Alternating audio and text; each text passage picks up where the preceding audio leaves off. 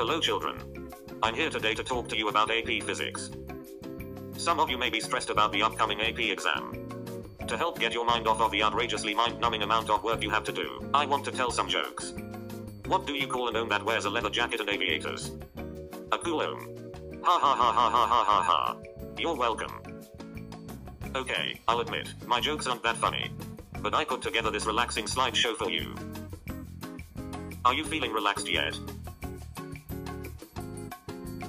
Try not to think about the hours and hours of laborious studying you will have to do during the next two weeks. Instead, think about the cool refreshing water of a beach. Like this one. Or this one.